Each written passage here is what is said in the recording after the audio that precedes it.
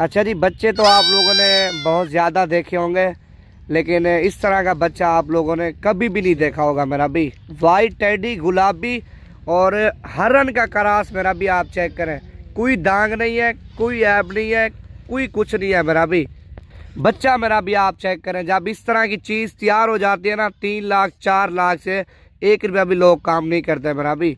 बिल्कुल गुलाबी है मेरा भी। कान आप देखें इसकी नोज़ आप चेक करें मेरा भी, माशाल्लाह। बाकी टांगे तक ये गुलाबी है बच्चा, मेरा भी मेल बच्चा है। इसकी एज तकरीबन मेरा भी तीन से चार दिन का बच्चा है मेरा भी। दो घंटों का टाइम है।